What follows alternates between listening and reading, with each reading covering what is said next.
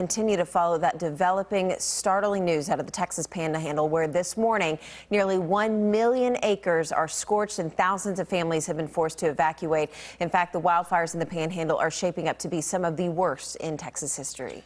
And sadly, we can report that at least one person has died as a result of these fires. Our Kennedy Walker joins us live in studio this morning with the latest on the story being followed by people all around the world. Hey, good morning, Keith in Madison. Flames are growing by the second in the Texas Panhandle. These images behind me, they are just horrific. In just two days, it's become the second largest wildfire in Texas history. Now, there are five active wildfires, the largest being the Smokehouse Creek wildfire just north of Amarillo. It started on Monday in Hutchinson County and has already burned more than 850,000 acres, which is over three times the size of the city of Dallas. Heartbreaking video shows the raging flames destroying homes, farms, ranches, and buildings, even prompting evacuations. Those who couldn't leave forced to shelter in place. And this morning, CBS News Texas confirming a grandmother has died as a result of the blaze. 83 year old Joyce Blankenship died when the Smokehouse Creek fire enveloped her neighborhood in the town of Stinnett.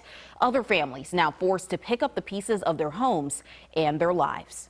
It was absolutely unreal. My son, I was FaceTiming him. He's in the service. And uh, he said, Mom, leave. Officials are unsure what sparked the fires, but 50 miles per hour winds and dry conditions is fueling those flames. Multiple fire departments from North Texas are sending crews to help get the fire contained.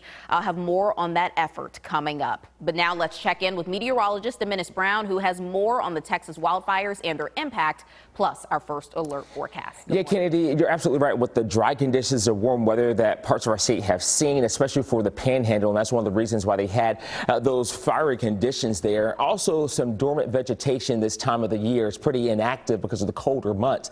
But little to no impacts for us here in North Texas. All right, you got to understand our winds are really controlling everything. Today, as you look at this model, the winds mainly coming in from the east and then eventually from the south. That's going to take a lot of that smoke to the north toward areas and to even Kansas and even the Oklahoma panhandle. So they're going to have some smoky and hazy conditions. And you'll see that that smoke will continue to move even farther to the north toward Minneapolis and even Canada. And you'll see Winnipeg there nearly 1,200 miles away from Amarillo. So here's the deal. We won't see any impacts here in North Texas, at least at this time.